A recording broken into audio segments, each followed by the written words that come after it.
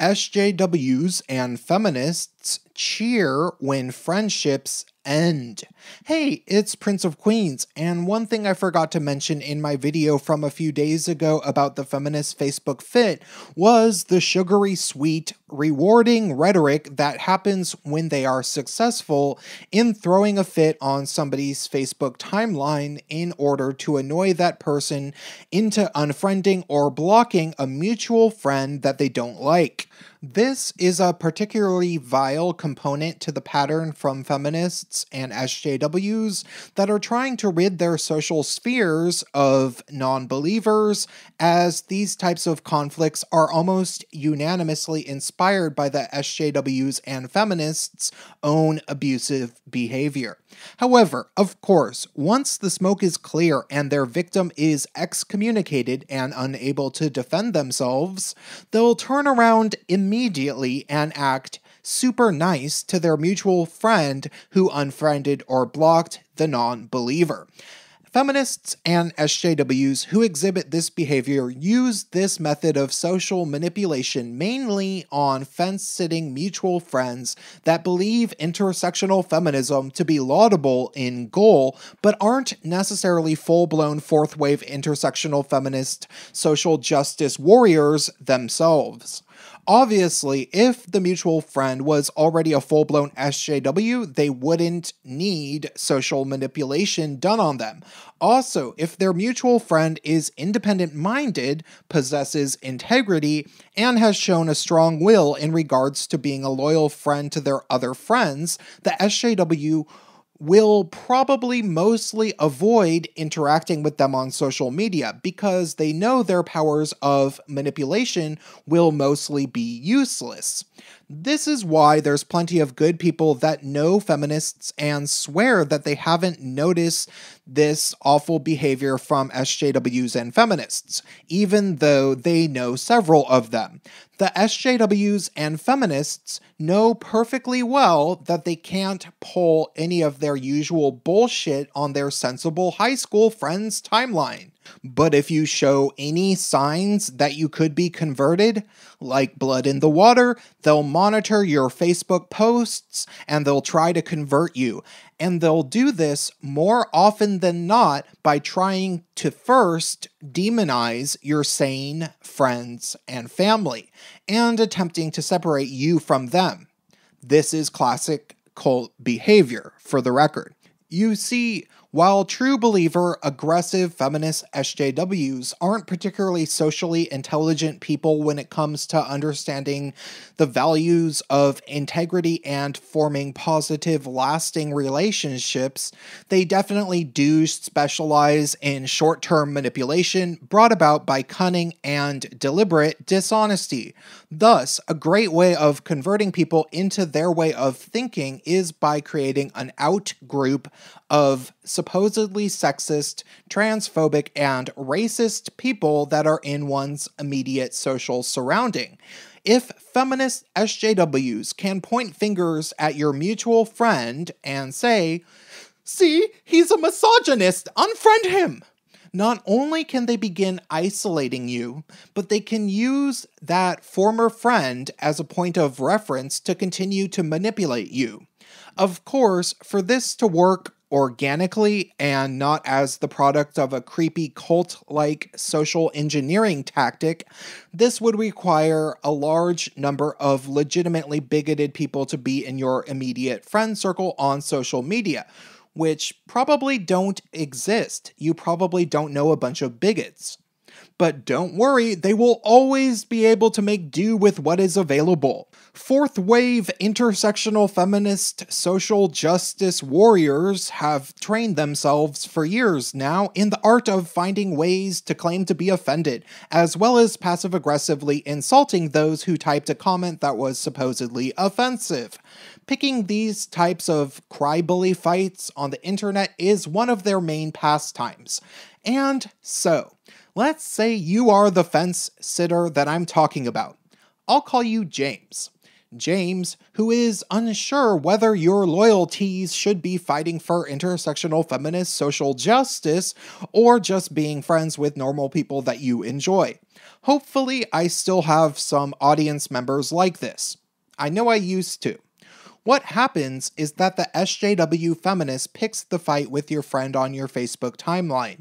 Maybe because he posted a South Park gif, and the SJW comes up with a snide way of pissing him off, calling him a bro or bruh, or something, of course, and telling him that he was problematic and that he should go troll somewhere else. Obviously, your non SJW friend gets annoyed and reacts something to the effect of, Relax, dear, it's just a meme. But oh boy, now he's done it. Not only did he assume that the person identifies as a female, but dear is a belittling, condescending, sexist slur. And then the feminist fit kicks in. While you are trying to write a paper for school or watch some YouTube videos, your notifications blow up with a ding, ding, ding, ding, ding constantly for the next 45 minutes. And don't be surprised if the SJW feminist starts tagging you to come get your boy or something, obviously implying that you're supposed to unfriend him. It's completely obnoxious behavior, but you aren't sure who to unfriend to get it to stop. On the one hand, you know perfectly well that the intersectional feminist was overreacting and started the argument, but you can kind of see why they would think the South Park GIF is problematic, because you have a lot of friends that are offended by such things. Furthermore, even though it does seem like the social justice feminist gets in arguments all the time and was being rude, she usually has a number of people on her side. You usually agree with her about the actual arguments, and you certainly don't want her and her friends attacking you. Thus, after she won't stop attacking your friend and he legitimately does lose his cool and call her a bitch, you decide you've had enough, and that the best thing to do would probably be to unfriend your non SJW friend that you've known since high school, because even though you two used to be pretty tight, you have very few ties to him in your current life, so you'd face less social consequences for doing that, and you just want this to happen less. Congratulations, my lad. You just played right into the SJW feminist's hand, and now you will be a new kind of target. The target of eerily unnatural affection, and maybe even invitations to events that you previously had never been invited to which are advertised as safe spaces for allies of queer, trans, and women of color.